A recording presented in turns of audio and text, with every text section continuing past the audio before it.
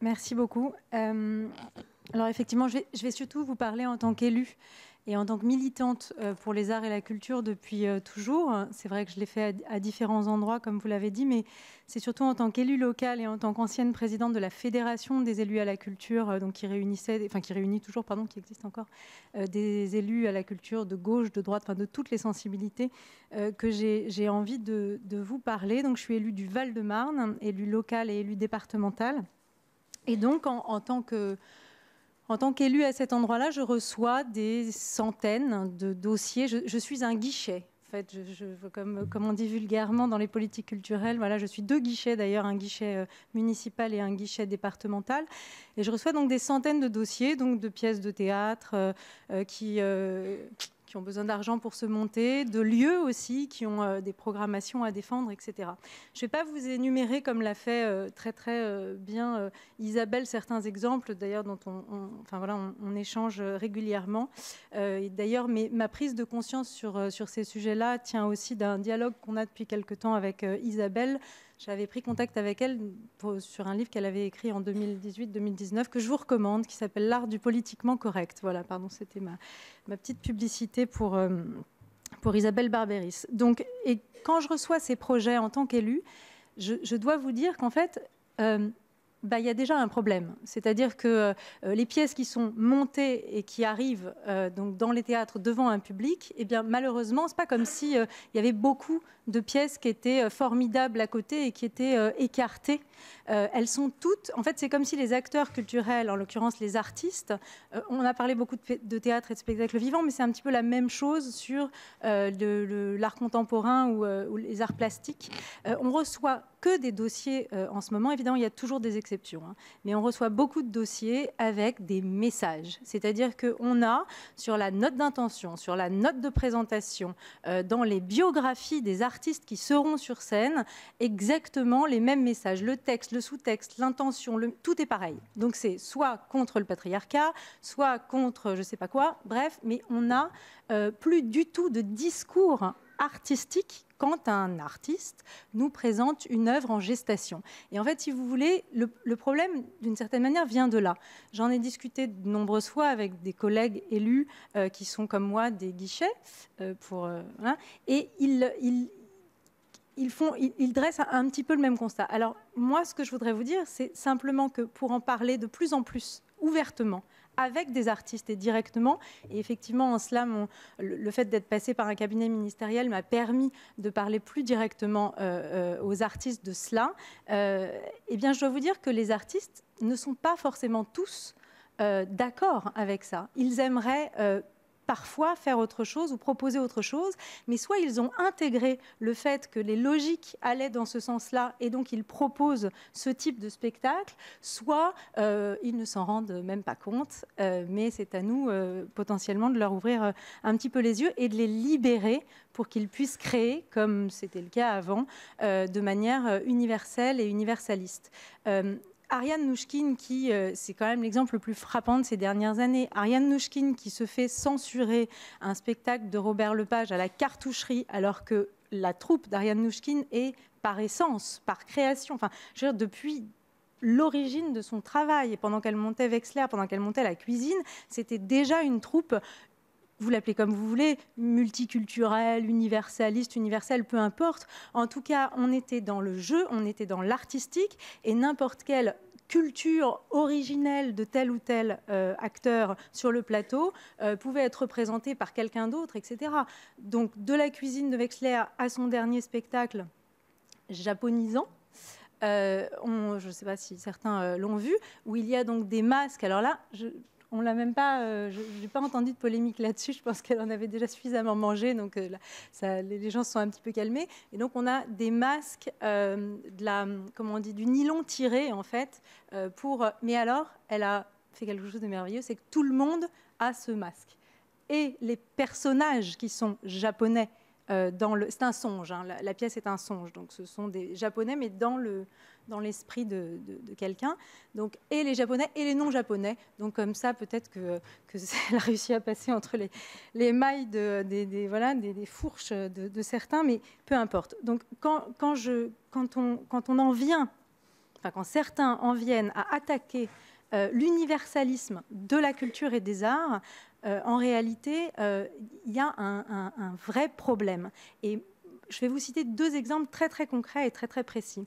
J'ai reçu donc en juillet une chorégraphe euh, franco-algérienne qui a, franco-algérienne, pas d'origine algérienne, qui a vraiment vécu 30 euh, euh, ou 35 ans en Algérie et qui est venue ensuite en France, qui m'a dit qu'elle avait une vision de la danse qui était universelle et universaliste. Et en me disant cela, elle s'est reculée sur sa chaise et elle m'a dit, je suis désolée, mais c'est vrai que je considère la danse comme un art universel.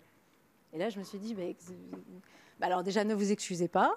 Ensuite, essayez de le dire un peu plus fort. Venez, on va appeler des gens ensemble pour leur dire ensemble. Et par pitié, en fait, revendiquez-le.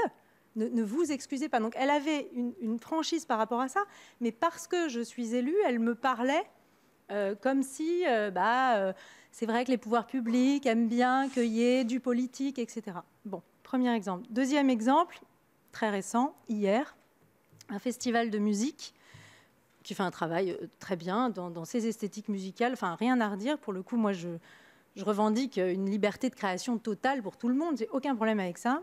Euh, et qui me dit, euh, pour essayer de, voilà, de me dire qu'ils ont des problèmes, qu'ils aimeraient bien avoir des subventions, etc.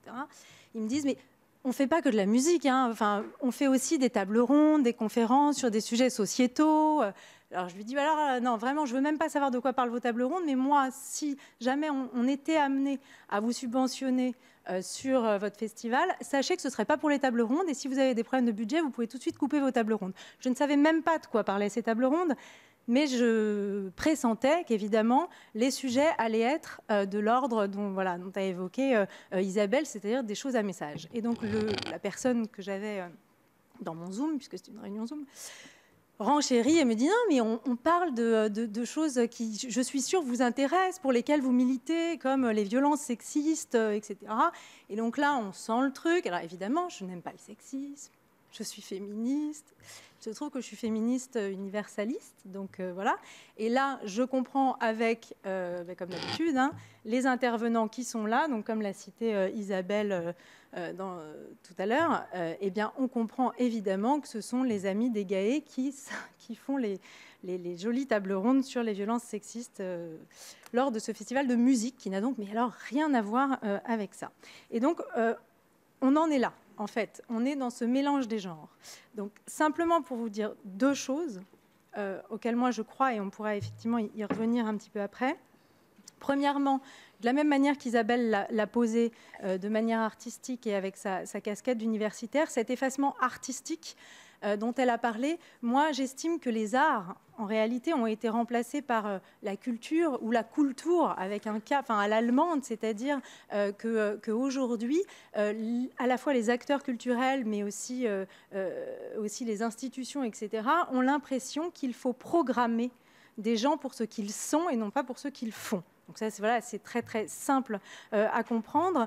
Euh, et, donc c'est bien d'avoir cité Gramsci euh, parce que c'est une table ronde sur la culture, mais c'est vrai que je préférerais que progressivement on puisse remettre de l'artistique partout et, et non il n'y a pas de relativisme absolu. Oui, la liberté de création doit être totale, mais, et j'en viendrai donc à mon deuxième point, et j'en finirai par là, si la liberté de création doit être totale, la, le choix de la subvention et donc de l'argent public peut exister.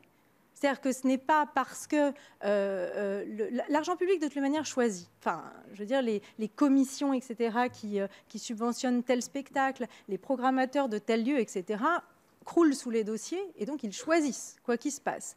Donc, est-ce qu'il ne serait pas opportun, et je vous pose la question aussi à vous, puisque j'espère qu'on aura le temps d'un long échange entre nous, de euh, commencer à infuser l'idée que l'argent public peut choisir euh, euh, d'œuvrer pour une culture universelle, c'est-à-dire de défendre des pièces de théâtre, des œuvres plastiques ou je ne sais quoi, qui partent d'un principe simple qui est que n'importe qui peut porter n'importe quel message et être touché et toucher un public euh, euh, encore différent et que on n'est pas euh, Isabelle a parlé de dialogue interculturel j'emploierai pas ces mots-là mais en tout cas que n'importe qui peut être touché par un drame en épire et, et, et, vice versa et qu'effectivement on peut sans considérer la, couleur de peau ce qui était quand même le cas il y a, encore quelques années être, euh, être euh, en émoi devant n'importe quelle œuvre, si tant est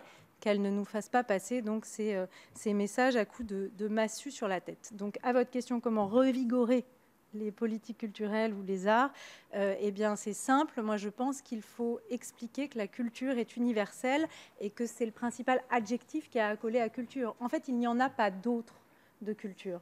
Ça n'existe ça n'existe pas puisque en laissant faire ce genre de dérive, on assiste à, un effacement artistique total.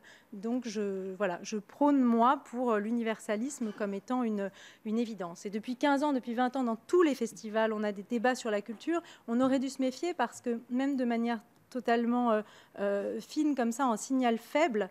Euh, depuis toujours, moi, j'entends dans les débats sur la culture dans le Festival d'Avignon ou partout Qu'est-ce que la culture? C'est toujours la première question. Ça fait 20 ans que ça me choque. Je ne comprends pas. Au Festival d'Avignon, on n'a que des metteurs en scène, des gens qui travaillent dedans. Les mecs se réunissent. Je dis les mecs, c'est les filles aussi. Ne hein, vous inquiétez pas.